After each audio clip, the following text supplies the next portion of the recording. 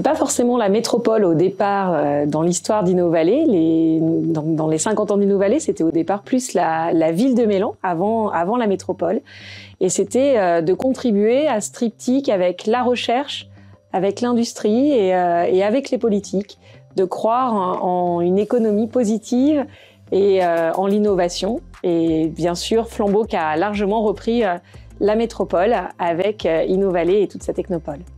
Ah ben mon Bono, c'est euh, c'est le pilier de la vocation euh, technologique d'Innovalet depuis, depuis 1986, date à laquelle euh, la technopole s'est étendue sur la commune. Malgré c'est maintenant reconnu comme étant le modèle de la Silicon Valley à la française, si on veut paraphraser ce qui se passe en Californie.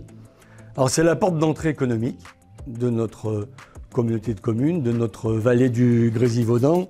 Donc euh, c'est un succès, euh, je crois, qui est incontestable. Hein. Plus de 100 entreprises sont implantées maintenant euh, sur la commune. plus de 6000 emplois viennent tous les jours travailler sur le territoire bonimontain et je crois que c'est devenu un réel succès au service du territoire. C'est vraiment ce qui se passe avec euh, Innovalet, notamment avec le tarmac. Euh, rappelons que c'est quand même 55 000 euros qui sont mis chaque année euh, sur le tarmac pour l'incubateur euh, des startups sur notre métropole. En 10 ans, on compte euh, bientôt 500 startups qui sont nées sur notre territoire dans ces dispositifs. Et donc, c'est être cet accélérateur, les aider à s'implanter, les aider à grandir et, euh, contribuer à tout l'écosystème avec Innovalet. On a des sociétés qui sont euh, tout à fait euh, dans le cadre de s'interroger en permanence sur euh, ce que va être demain, sur les nouveaux enjeux, les nouveaux défis qu'il y aura à relever.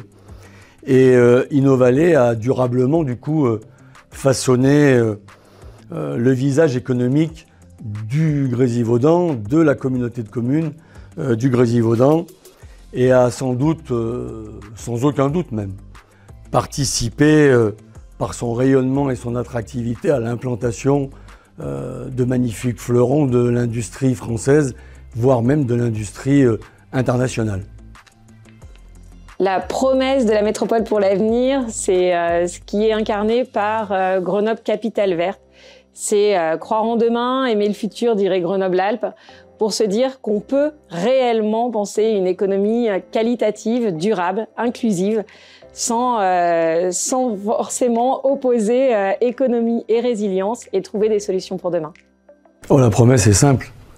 Construire ensemble, grâce à Innovalet et avec les entreprises d'Innovalet, le monde de demain. Je crois que c'est le défi majeur que nous avons à relever et peut-être d'une façon encore plus prégnante dans cette période euh, un peu compliqué de la vie économique